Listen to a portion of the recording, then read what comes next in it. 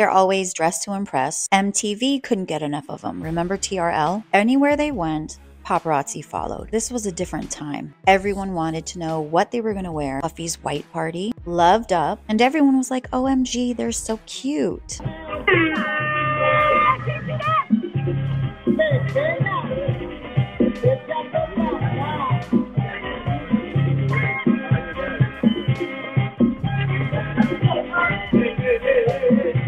The infamous 1999 shooting outside of a New York City nightclub after an argument broke out that left three people injured. Lopez, Combs, and Combs' bodyguard, Anthony Jones, they, the discussion, as you can imagine, has moved on to celebrities, right? If the allegations are true, who knew what?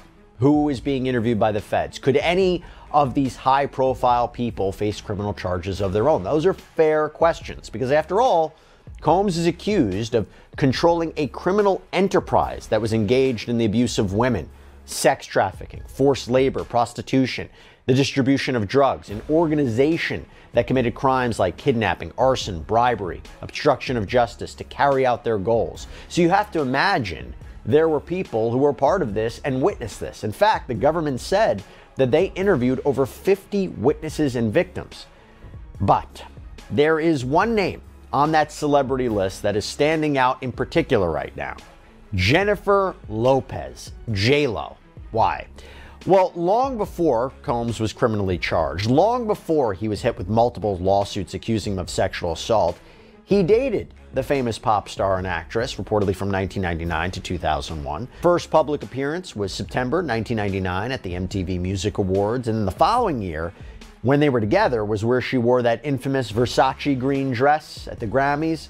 The couple were on red carpets together. They went to Combs' famous white party together. Big A-list couple. In fact, there is a photo of them together lying in a white bed with giant pillows. And in another photo, they're in a, that same bed with other people. And one clip that has actually surfaced recently is of the couple in the show MTV Diaries from 2000. And this is where Combs expressed his dissatisfaction with Lopez having to perform a kiss scene in one of her movies. And she confessed he has a problem with stuff like that. Couldn't get enough of them. Remember TRL? Anywhere they went, paparazzi followed. This was a different time. Everyone wanted to know what they were going to wear. Puffy's white party, loved up, and everyone was like, OMG, they're so cute. Then December 1999, they go to a party in New York. There are pew pews involved. They both get arrested. Later, JLo was off the hook. I vividly remember people were like, goodness gracious, poor JLo, she's with a bad boy, they should break up. But they didn't. They went to the Grammys together. She wore this Versace gown. Everyone lost their minds. They coordinated wearing matching white outfits at the MTV Video Music Awards. Then it came all crashing down. Valentine's Day 2001, they announced they broke up. Seven months later, she married Cris Judd. And then they divorced. Something else interesting happened. You fast forward to 2015, they'd already broken up. And this is when Jennifer Lopez appeared on the Wendy Williams show back in 2015. I was telling you that I could always see you getting back with Puffy in a little way. I remember you said yes. that. Yes. Or in my mind. Look at that. Look at. Or in my mind, getting together permanently Yeah, well, first of all, Pitbull. right, Pitbull, it's crazy. Everybody had, like, everybody came alive. they all has- had something to say. Yeah, everybody has an opinion. Yes, it's funny to me. And then the cameras panned over to Lopez's mom, Guadalupe Lupe Rodriguez, who was in the audience, who has this kind of concerned look on her face. And can't forget that Lopez and Combs' relationship was marked by one of the biggest controversies of his life. The infamous 1999 shooting outside of a New York City nightclub after an argument broke out that left three people injured. Lopez, Combs, and Combs' bodyguard, Anthony Jones, they were actually pursued by police after leaving the scene and were arrested. Stolen gun was found in the car. Lopez was detained for, I believe, 12 hours, but the charges were never pursued against her.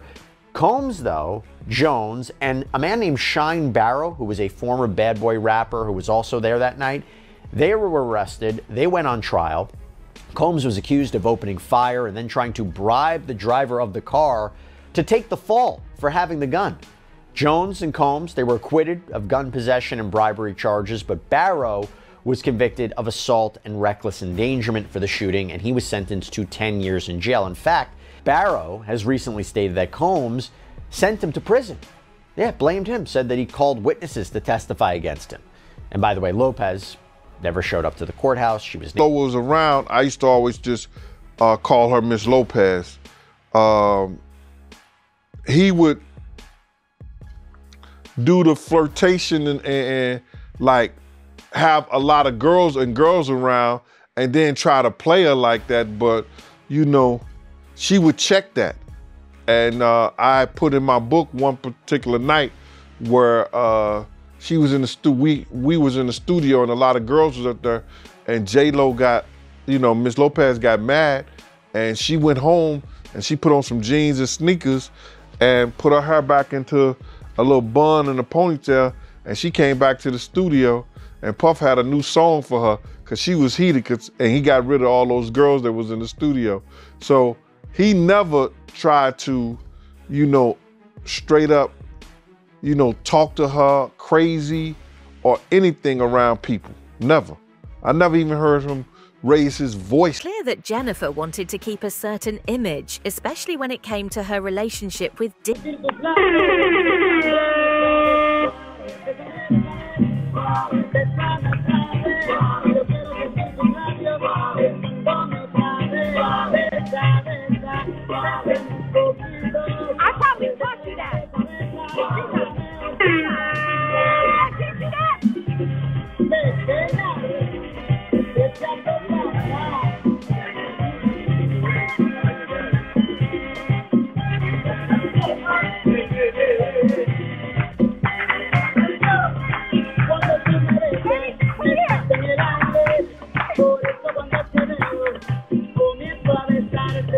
My boy at? Where's my boy at? Come over here. Oh yeah, oh yeah, oh yeah.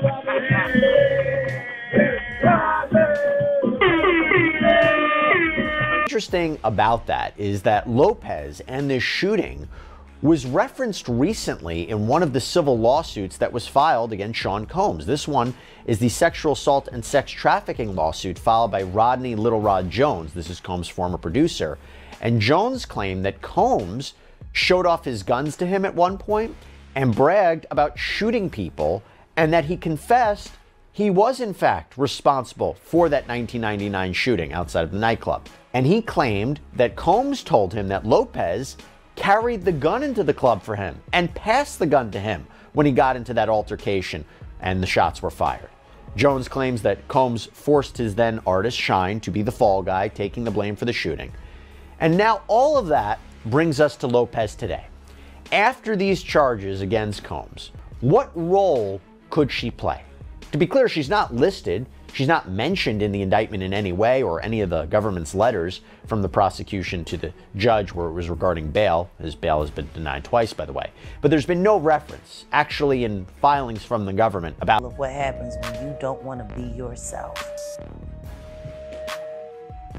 She can't sing, but they got her a microphone and let her pretend. So let me She ask. was an okay actress, but you know, she was good at acting. She'd been doing that all her life. J Lo is just, I don't know. Every man she's been with has said the same thing, except for Diddy. Diddy's the only one that said she was a great girlfriend and how he wish he hadn't messed it up. How is that the only man in her life that had regrets about their relationship and everybody else ran for the hills? like, it's not nobody noticing that. That everybody else that's left her, oh, she was too this, she was this, she was that. But Diddy said she was perfect. Maybe she was meant for a medal. What happens if you're only perfect for the devil? God damn, God, God. what the fuck does that make you? information do you think, and I kind of laid out the history, what information could Jennifer Lopez provide to the government that would be useful in their case? everything. Like, we know that JLo was dating P. Diddy in the late 1990s to 2001, right? We know about the gun incident with the club. What I would want to know if I was a prosecutor sitting down with JLo is when did your relationship start? What did you observe? You were with him for 18 months. You shared a bed with him. You must have seen things. What did you see? And I would want to see if I could get information that would put his activities back to 1999 and then bring it forward, which Mm. could make my case twice as strong as it currently is today. If you're prosecuting this case, do you want it to be a celebrity trial? Do you want all these big names to take the stand to explain what happened with Sean Combs? Is that advantageous to you? What I'd want is justice for the victims. Mm-hmm. What I'd want is to know that sex traffickers are caught and that sex workers have a safe So, what do you have to say about this? Comment down your thoughts right now and make sure to give this video a like and also subscribe to the channel to stay updated in future. Until then, keep exploring.